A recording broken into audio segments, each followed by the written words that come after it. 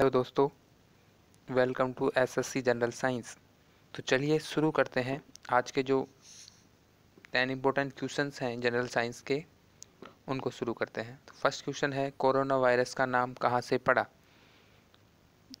First option है इसमें corona like projection जैसे अनुमानों के कारण लीफ लाइक प्रोजेक्शन जैसे अनुमानों के कारण, ईटों की, उनकी सतह संरचना के कारण, उपरोक्त में से कोई नहीं कि कोरोना वायरस का नाम है नहीं, ताज जैसा तो यानी क्राउन लाइक जैसे प्रोजेक्शन के कारण इसका नाम पड़ा। तो इसमें जो कौन सा ऑप्शन आएगा? तो इसमें ऑप्शन आएगा, फ़र्स्ट ऑप्शन आएगा। तो इसका कौन सा ऑप्शन आएगा? फ़र्स्ट ऑप्शन आएगा। इसी तरह से अगला क्वेश्चन है, कोरोना से बचने के लिए कौन सी सावधानियाँ बरतने की ज़रूरत है? फ़र्स्ट ऑप्शन है, छींक आने पर अपनी नाक और मुँह को ढक कर रखें। अपने आहार में अधिक लहसुन शामिल करें। थर्ड ऑप्शन है, एंटीबायोटिक्स उपचार के लिए अपने डॉक्टर से मिलें और फोर्थ ऑप्शन है, हर घंटे के बाद अपने हाथ धोएँ। तो आप सभी को पता है कि इसमें कौन सा ऑप्शन आएगा? इसमें ऑप्शन आएगा, फ़र्स्ट ऑप्शन आएगा, यानी इसका आंसर क्या होगा? फ़र्स्ट होगा। यानी आंसर कौन सा आएगा? फ़र्स्ट आएगा। थर्ड क्वेश्चन है कि मधुमक्खियों, फूलों से मकरंद एकत्र कर, इसे भंडारित करती हैं क्योंकि फूल और उनका मकरंद वर्ष में केवल कुछ समय ही उपलब्ध रह, होते हैं। सेकंड ऑप्शन है, मधुमक्खियों में अधिक शहद की प्रवृत्ति होती है।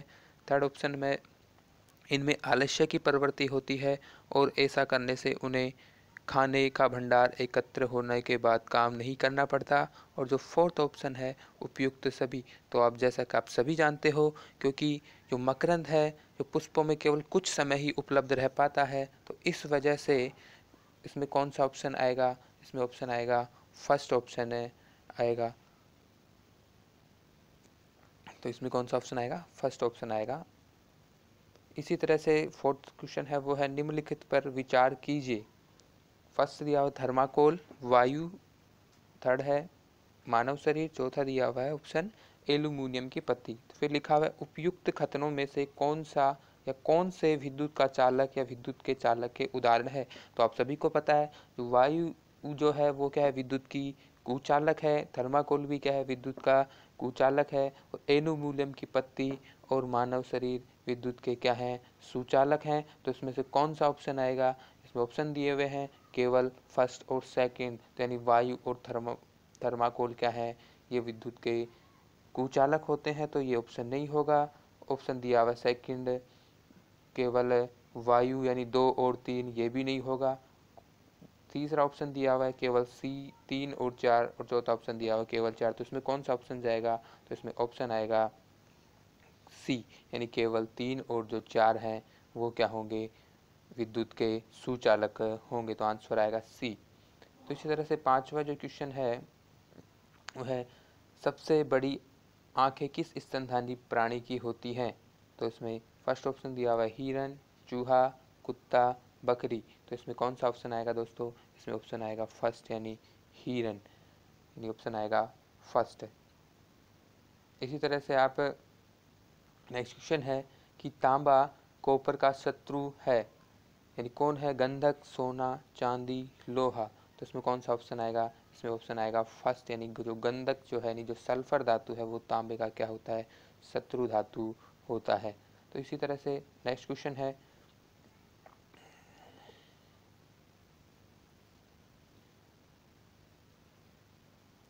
कि चंद्रमा पर एक बम विस्फोट होता है, इसकी आवाज़ पृथ्वी पर सुनाई देगी।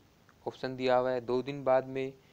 सेकंड ऑप्शन दिया हुआ, कभी नहीं। थर्ड ऑप्शन दिया हुआ, एक वर्ष बाद में। और फोर्थ ऑप्शन दिया हुआ, एक महीने बाद में। क्योंकि आप सभी जानते हो, क्योंकि ध्वनि तरंगों को ट्रैवल करने के लिए माध्यम की आवश्यकता होती है, क्योंकि ध्वनि तरंगे कौन सी तरंगे मैकेनिकल वेव है तो इनको किसी न किसी माध्यम की आवश्यकता होती है क्योंकि चंद्रमा पर कोई माध्यम नहीं है तो इसकी आवाज़ पृथ्वी पर कभी भी आपको सुनाई नहीं देगी, यानी कभी सुनाई नहीं देगी तो कौन सा ऑप्शन आएगा इसमें?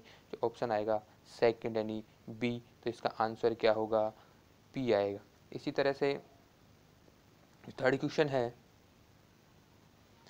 वो एट क्वेश्चन है, वो लिखा हुआ है कि यदि द्रव्यमान परिवर्तित हुए बिना पृथ्वी अपनी वर्तमान त्रिज्या की सिकुड़कर आदि रह जाए तो दिन होगा बारह घंटे का सेकंड ऑप्शन है अठारह घंटे का थर्ड ऑप्शन है सत्रह घंटे का टी है जो है पंद्रह घंटे का। तो इसमें ऑप्शन आया है तो कौन सा ऑप्शन आएगा?